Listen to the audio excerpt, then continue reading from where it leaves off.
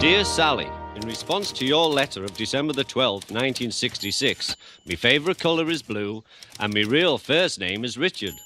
Thanks for the snapshot. You're a real cute bird. Love, Ringo. P.S. Forgive the lateness of my reply. Mr. Starr, tea and crumpets. Just said it over there. Sir, if you'll forgive an old Brit his impertinence, your devotion to your fans is nothing short of remarkable. Well, Weatherby, they took the time to write me, and I don't care if it takes me another 20 years.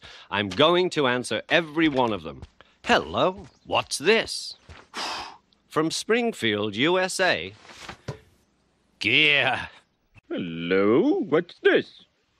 It's for you, Marge, from merry old England. From the desk of Ringo Starr. Dear Marge, thanks for the fab painting of yours truly. I hung it on me wall. You're quite an artist. In answer to your question, yes, we do have hamburgers and fries in England, but we call French fries chips. Love Ringo. P.S. Forgive the lateness of my reply. No. Come on, Marge, paint. I think you can do it. Okay, Homer. If you think I can.